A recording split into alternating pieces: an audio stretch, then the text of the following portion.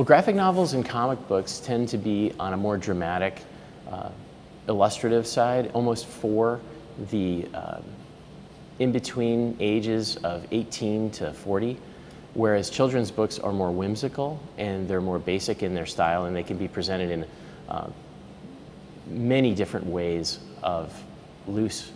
uh, basic illustration style, from painting to drawing um, to big fluffy characters and things like that. I think when you're getting into graphic novel and when you're getting into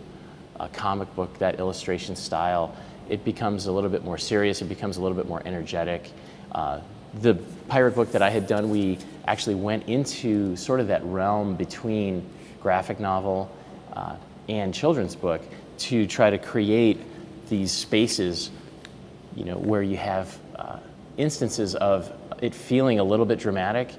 uh, which could have these overtones of, of, being like a comic book, but then at the same time feeling very much like Peter Pan, where you're kind of coming back to a, a children's style.